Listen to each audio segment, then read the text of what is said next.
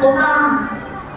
Di ba, ang pwede na dito, ang inyong gym, wala ato, kinsa taga-wifi dire. Ang inyong gym dito, wala ato. O kung ipangayon ni Mark, Senator Kiko Pangilinan, na patukuran o bagong gym dito. But sad to say, ang naa na mali o butang, na butang nila o multi-purpose building. So, mauna ni karon na butang na ni Dere. Why labot si Kapitan Ani? Why kuwan si Kapitan Ani? Ang nangayo ani si former Governor Martagas, proyekto ni ni Didi Cagas para masayot na ang kanan. Pero siguro mo, walay programa, walay infrastructure na ibutang ang kagas dire na ang kanin. So dapat kanin bildinga, utalan na o didi kagas. Kaya haman ang proyekto, dili si kapitan ang nangayuana. Para masayog lang ang kanan.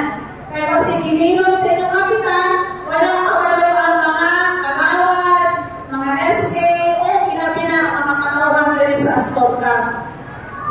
So ako, nakabalo na mo, kaning proyekto ha, ang dating kagas ni with Senator Kiko Pangilinan. So atong kalapakan,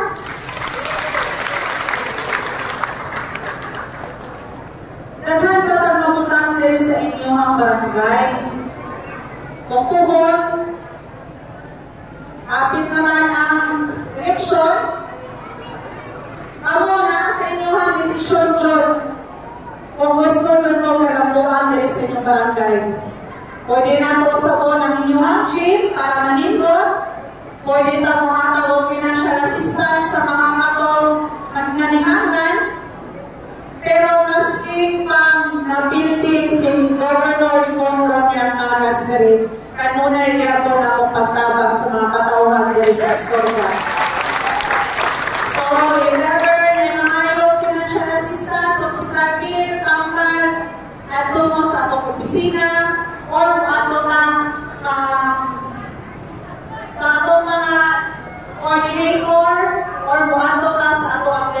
Governor. Kung hindi ninyo sila makita, naara ko sa akong office. Ayaw lang Thursday o Tuesday kay na-ako turnover ana. Okay?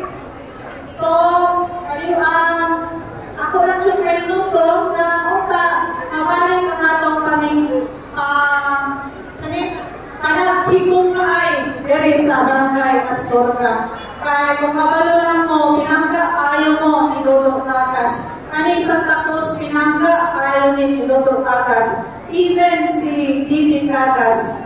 Mauna, ang yuor na uta, suportaran ninyo ang among mga kandidato pohon. So, daghan kay salamat mga katauhan sa barangay Astorga.